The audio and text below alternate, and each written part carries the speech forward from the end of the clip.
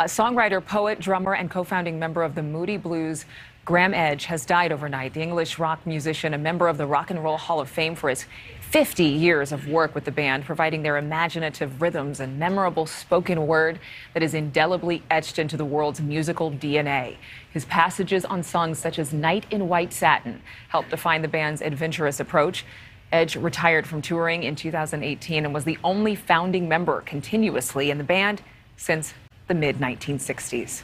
Thank you so much for watching. Make sure to click on the red subscribe button below so you can get more of NewsNation's fact driven, unbiased coverage.